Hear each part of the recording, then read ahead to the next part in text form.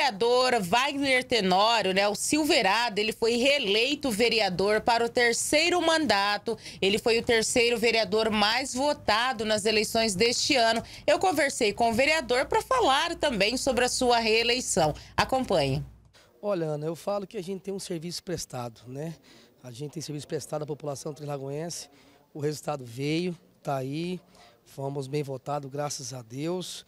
Estou é, muito feliz. Agradecer a Deus primeiramente, né, por esse mandato, que esse mandato não é meu, e sim da população que nos colocou aqui novamente. Eu disse na tribuna que eu tive 887 votos na primeira eleição. Na segunda eleição, tivemos 1.048. E na terceira eleição agora tivemos 1.572. Então isso é um sinal de credibilidade. Né? Ana, é, a política hoje, a gente tem que ser bem sincero, todos os cantos da cidade que eu passei, em reuniões, em, em, em vários amigos que eu fui, fui muito bem claro. Tá? A gente tem que ter respeito. Talvez, Ana Cristina, eu não posso concordar com você, mas o mínimo que eu tenho que ter com você é respeito. E da mesma forma é a política. As pessoas têm que aprender a respeitar as pessoas.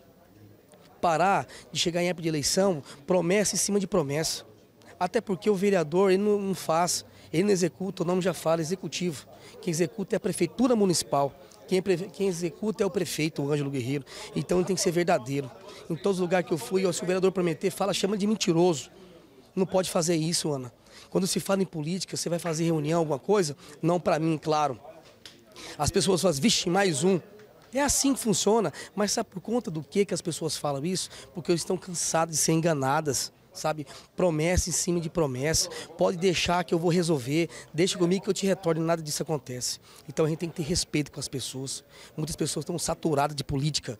Política não, de políticos, né? Falei, disse hoje, trouxe minha mãe aqui, deu um desabafo, sabe? Fui é, muito é, é, esmagada nessa eleição, sabe? Pessoas tentando degradar minha imagem mas eu fiquei calado, inventei. Estava falando para meu, meu amigo, meu colega Bazé, também foi criticado mais de 266 candidatos só apontaram para mim. Mas eu falo que prego que se destaca é martelada nele. Por né? que você acredita que você foi perseguido? Foi perseguido, fizeram vídeo, né? Montaram os vídeos, né? Fake news, soltando a imagem minha, a imagem da minha namorada. Só faltou chamar eu de bandido, uma coisa que eu não sou. Eu fico chateado, Ana. Sabe por conta do que, Ana? Eu tenho família atrás de mim. Eu tenho amigos, Ana, atrás de mim. Eu tenho apoiadores atrás de mim. Isso machuca. Sabe por conta que machuca, Ana? Porque você não deve. Se você devesse, você não estava ligando. Então machuca. Mas o que eu falo, Ana Cristina, olhando dentro dos seus olhos agora, aquele que cuida de mim não dorme, que é Deus. Então tive a sabedoria de aguentar calado, aguentei, hoje foi o desabafo. Mas momento algum, Ana Cristina, eu tenho vergonha de ser político. Eu bato no peito e falo, eu tenho orgulho. Porque eu tenho mãe, eu tenho filho, eu tenho namorada, eu tenho amigos e eu tenho endereço fixo em Três Lagoas. Eu não estou com mala nas costas. Eu tenho CPF. E eu, continuando falando, a pessoa que fez isso comigo, eu desejo tudo de bom para ela. Eu não tenho maldade com ninguém. Deus respondeu por mim, a população respondeu por mim. Os meus 1.572 votos, que não é meu, é nosso.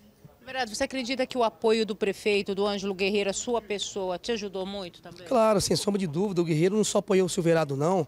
Tá? O Guerreiro apoiou vários candidatos a vereadores, até porque é injusto, porque teve vários vereadores aqui que ajudou a aprovar o orçamento do município, várias, várias emendas.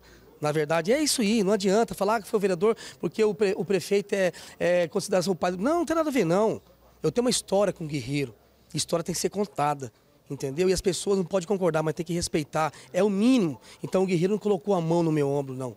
Colocou, se deu um apoio, sim, como todos os vereadores teve o apoio, todos os candidatos teve o apoio. Isso é natural, isso é natural. Então a gente tem que concordar, Ana Cristina. Mas eu estou muito feliz. Eu estou, eu estou com a alma lavada, graças a Deus. E os vídeos que percorreram aí, tem Polícia Federal aí. Eu ia na Polícia Federal fazer um vídeo lá e falar que eu estou propondo porque, sabe por quê? Eu não devo nada para ninguém. Eu estou tranquilo, estou com a alma limpa. Graças a meu bom Deus. Vereador, agora em relação à presidência da Câmara, você pretende concorrer, está preparado para ser presidente da Câmara ou não? Ô Ana, eu acho que todo mundo tem uma missão, né? Eu falo que todo mundo tem uma missão, como você tem, você na sua oratória, você no seu discernimento, uma pessoa incrível, que toda a vida faz isso para você, Então nós temos missão. Se for para mim ser presidente da Câmara, estou pronto e preparado para trabalhar, não para mim, para o povo de Três Lagoas. É assim que funciona. Né? Todo mundo passou vários candidatos aqui. Tem muita gente que quer. Você que, quer ser presidente? Se tiver o meu, se tiver, se for para ser isso, tiver o apoio dos outros candidatos, estou pronto para trabalhar, sem problema. Não é verdade? Muitos circularam aí que eu ia ser o presidente da Câmara, não é verdade? Você já ouviu isso também? Muitos ouviram. Mas para mim ser presidente antes da eleição, tem que ganhar a primeira eleição. Né? Tinha gente aí já circulando, então vamos ser natural, vamos deixar as coisas acontecer. Acabamos de ganhar a eleição, vamos deixar as coisas acontecer. Mas eu estou preparado para trabalhar para Lagoas sem medo de errar.